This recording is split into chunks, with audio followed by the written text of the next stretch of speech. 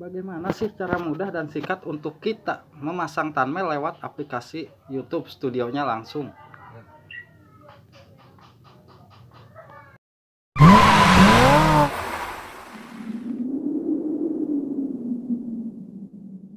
Assalamualaikum warahmatullahi wabarakatuh.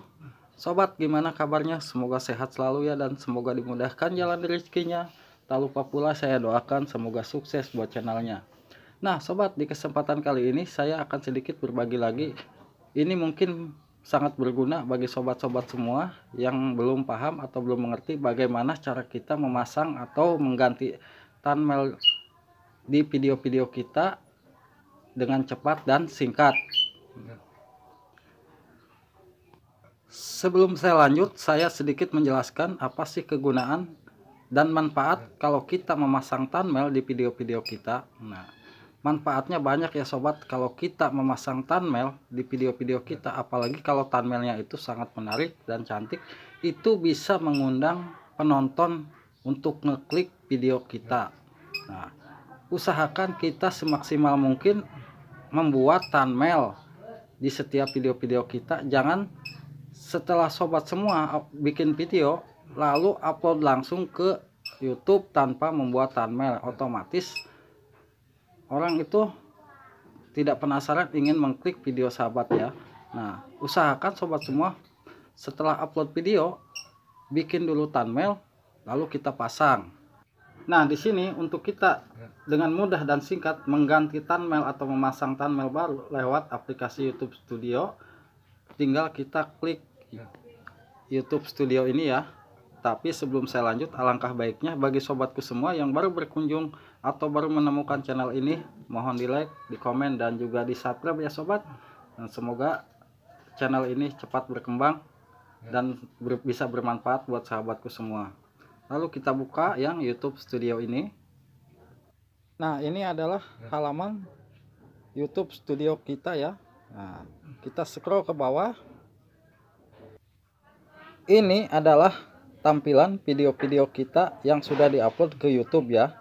Nah ini adalah tampilan video kita. Semisalkan sobat semua ingin mengganti atau mengedit thumbnail yang ini.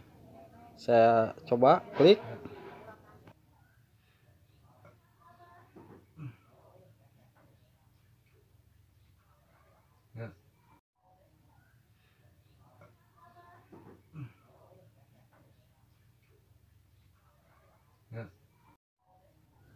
untuk mengganti thumbnail di video ini di pojok kiri ada logo pensil lagi ya. Nah ini ada logo pensil untuk kita mengedit atau mengganti thumbnail. Kita pijit yang pensil.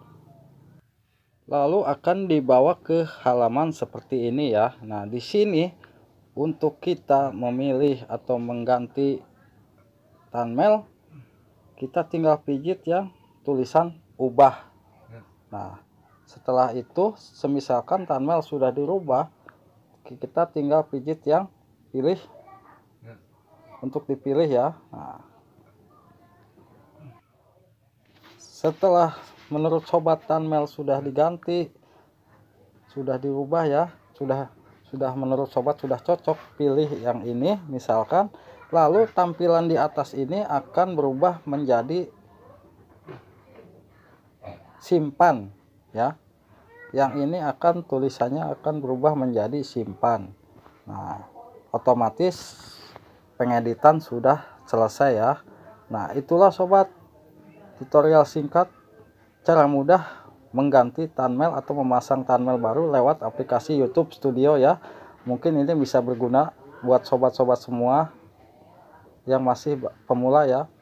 Nah di sini juga kita bisa mengedit deskripsi dan mengisi tag kita bisa masuk ke aplikasi YouTube Studio ini ya. Semoga bermanfaat tutorial singkat dari saya. Wassalamualaikum warahmatullahi wabarakatuh.